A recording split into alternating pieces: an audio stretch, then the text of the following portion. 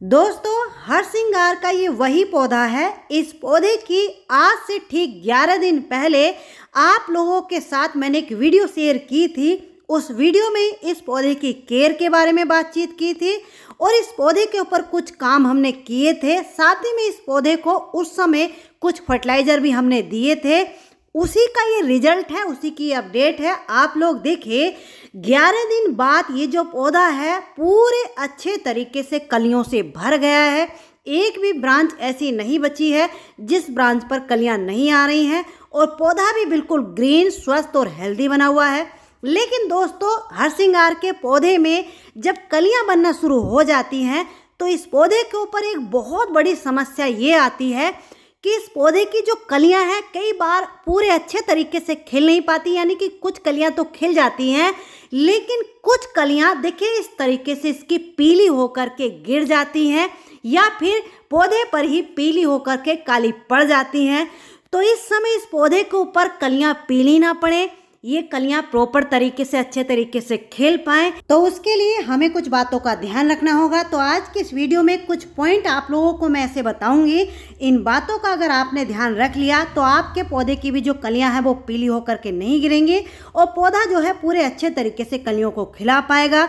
या फिर जिनके पौधों में भी कलियाँ बनना शुरू नहीं हुई हैं तो उनके लिए भी आज की इस वीडियो में बताऊँगी कि इस समय आपको अपने पौधे को कौन सी खाद और कौन कौन से काम आपको करने हैं, जिससे आपके पौधे में भी कलियाँ बनना शुरू हो जाए। तो चलिए वीडियो को शुरू करते हैं। तो चलिए बात करते हैं पॉइंट नंबर वन की। तो देखिए, अगर आपका पौधा पूरे अच्छे तरीके से कलियों से भर गया है, जैसे कि मेरा पौधा चारों तरफ़ से ही कलियों से भरा हुआ है तो ऐसी कंडीशन में आपको अपने पौधे को उठा करके कहीं ऐसी जगह रखना है, जहाँ इस पौधे के ऊपर सुबह की दो से ढाई या ज़्यादा से ज़्यादा तीन घंटे की धूप इस पौधे को मिल पाए, या फिर कहीं ऐसी जगह आप लोग पौधे को रख रहे हैं, जहाँ शाम को इसके ऊपर धूप आती है।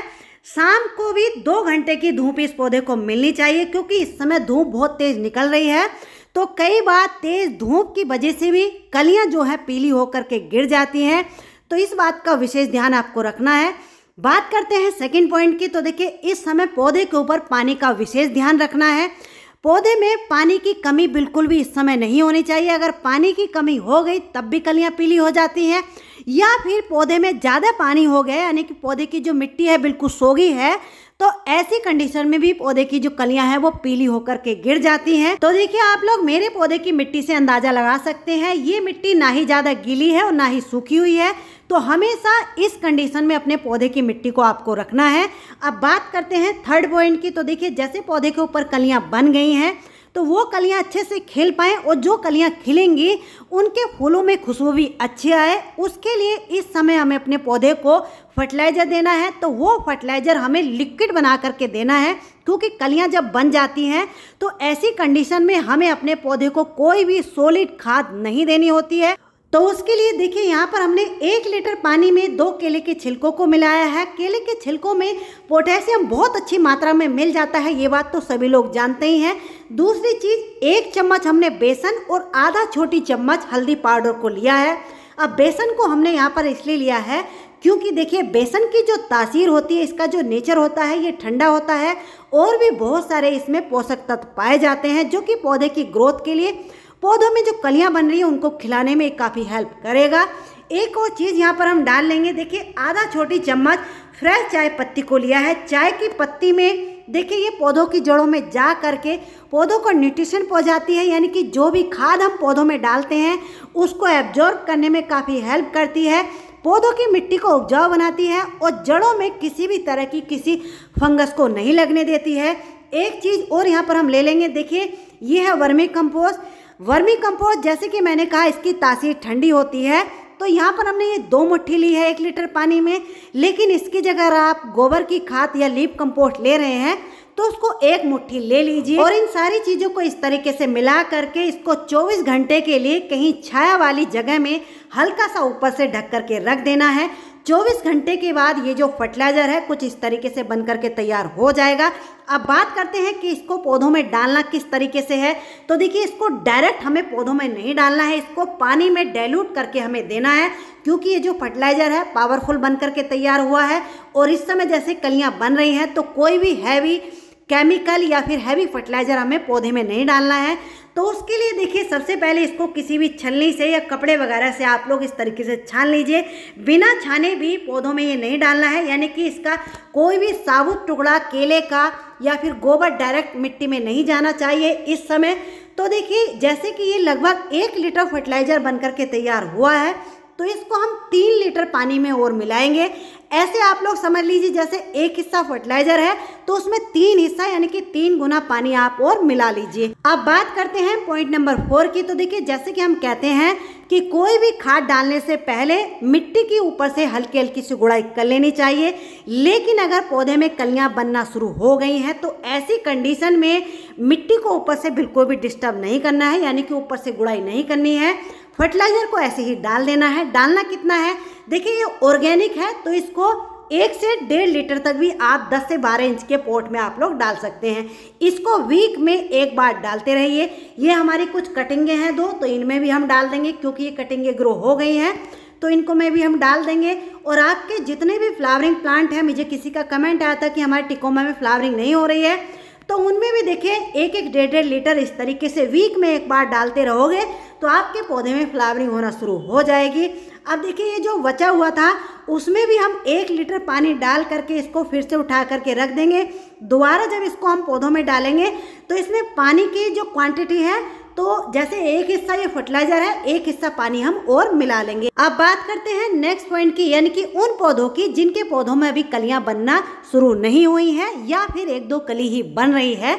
तो ऐसी कंडीशन में इस समय पौधे के ऊपर से कोई भी पिंचिंग या फिर सॉफ्ट प्रोनिंग या हार्ड प्रोनिंग यानी कि इस समय किसी भी तरह की कोई कटाई छटाई पौधे के ऊपर से नहीं करनी है। पौधा जिस कंडीशन में जैसा है, वैसे ही पौधे को रहने देना है।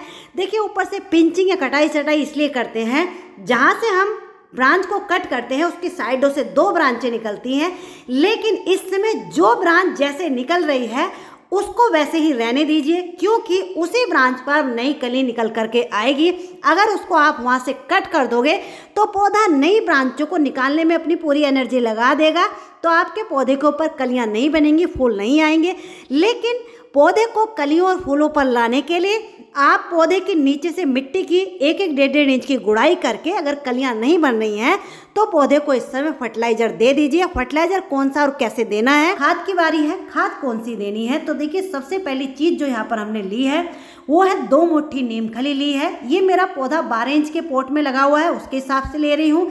अगर आपका पौधा दस इंच के पोट में लगा हुआ है, छोटा है तो फिर इसकी मात्रा आप आधी कर दीजिए। दूसरी चीज़ मस्टर्ड के, यानी कि सरसों खली, यहाँ पर ये भी हमने दो मुट्ठी ली है। तीसरी चीज़ ये है, देखिए, केले के छिलकों को पीस करके पाउडर बना करके इस तरीके से मैं रखती हूँ तो ये भी हमने दो मुट्ठी लिया है। अब देखिए, कुछ लोग यहाँ पर ये कहेंगे कि इन सूखे हुए केले के छिलकों को ऐसे ही इसकी मिट्टी में हम दबा दें। तो देखिए, इस समय इन छिलकों को इस तरीके से इसकी मिट्टी में नहीं दबाना है। कोई और सीज़न होता, तब तो सूखे हैं छिलके या फिर कच्चे छिलके भी हम मिट्टी में दबा देते तो तब पौधे के ऊपर कोई असर नहीं होता। लेकिन इस समय इस तरीके से हम नहीं दबाएँगे। इसके दो रीजन है। पहला, एक तो बरसात का मौसम चल रहा है। बीच बीच में बारिश होती रहती है तो इससे फंगस लगने के चांस रहेंगे। दूसरी बात, देखिए ये जो केले के छिलके हैं डिकम्पोस्ट होने में थोड़ा टाइम ले लेते हैं तो इतने ये फ्लावरिंग पर आएगा तो इसलिए ये लेट हो जाएगा। तो इसलिए या तो इनको आप लोग पाउडर बना करके आपके पास सूखे केले के छिलके हैं, तब डाल दीजिए, या फिर आप इनको एक रात के लिए पानी में भिगो करके वीक में एक बार पौधे को देते रहिए, तब पौधे के ऊपर असर होगा। लेकिन देखिए, इस समय पौधे से अगर आपको अच्छे फूल लेने हैं तो ये मस्टर्ड केक यानी कि सरसों खली और नीम खली, इन दो चीज़ों का पौधे में डालना बहुत ही ज़रूरी है। अगर केले के छिलके सूखे हुए या कच्चे आपके पास नहीं है तो उसको आप लोग भिगो करके हफ़्ते में एक बार पौधे को डाल सकते हैं। लेकिन इन दो चीज़ों को पौधे में गुड़ाई करके देखिए, इस तरीके से साइडों साइडों से ज़रूर डाल दीजिए। इसको डालने के बाद, देखिए, ये जो मिट्टी हमने निकाली थी, अगर नई मिट्टी आपके पास है तो ऊपर से उस, उसको डाल दीजिए। अगर नई नहीं है तो जो मिट्टी हमने निकाली थी, उसी से इस फर्टिलाइज़र को कवर कर दीजिए। फर्टिलाइज़र को डालने के तुरंत बाद पौधे को पानी देंगे। पानी आपको कम देना है, इतना देना है। पोट के ड्रेनेज झोल से नीचे से पानी नहीं निकलना चाहिए। अगर नीचे से पानी निकल गया तो जितने भी न्यूट्रिशन पौधे को आज हमने दिए हैं, वो सभी पानी के ज़रिए नीचे से निकल जाएँगे तो इस बात का भी आपको ध्यान रखना है। बात है इसकी सनलाइट की तो देखिए, इस समय पौधे को जितनी ज़्यादा से ज़्यादा सनलाइट मिलेगी, यानी कि कम से कम चार घंटे की धूप तो इसको मिलनी ही चाहिए, तब ये पौधा अच्छे से फ्लावरिंग करेगा। अगर आपके यहाँ धूप अच्छे से नहीं आती है, फिर ये फूल नहीं देगा। ग्रोथ तो अच्छे से करता रहेगा, लेकिन फ्लावरिंग पर नहीं आएगा।